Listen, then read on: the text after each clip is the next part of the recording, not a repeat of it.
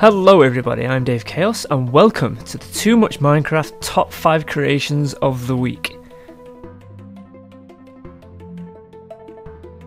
At number 5 we have The Shrine by Bentley Waggle. This is a mysterious looking island with a shrine at its centre. It's like a mini adventure with overtones of slender. You can get to this by forward slash warp shrine.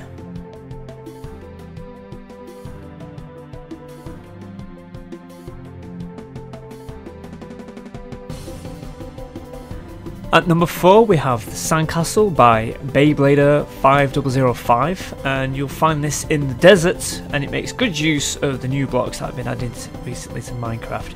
You can visit this one by forward slash warp sandcastle.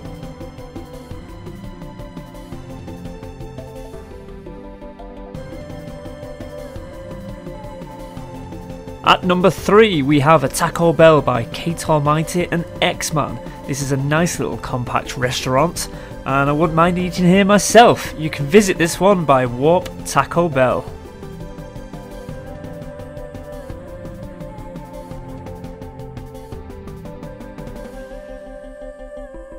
At number 2 we have the Space Station. This is a, a rather large build with quite a lot to it, you've got to check this one out.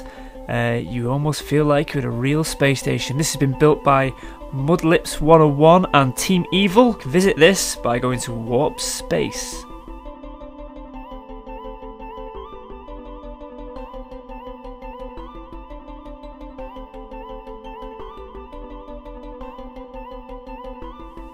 And this week's number one is Pandora uh, by Joy Gamer. This place is amazing, you gotta see this one. It really takes your mind to a different world. There is a nice collection of waterfalls, floating islands, some real good terraforming. It's quite a large area. You've got to check this one out at Warp Pandora.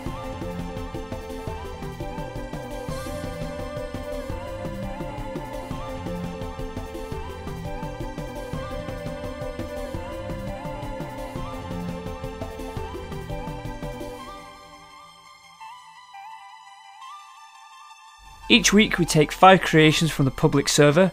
You can join the server with the IP on the screen now, and uh, they're selected by general members of the staff that run the forums or the or the server itself. Um, and the winner each week will receive 10,000 in-game credits to spend on whatever you like. So I hope you enjoyed that video. I've been Dave Chaos. You can check out my content on youtube.com forward slash Dave Chaos. And don't forget to rate this video. Catch you next time.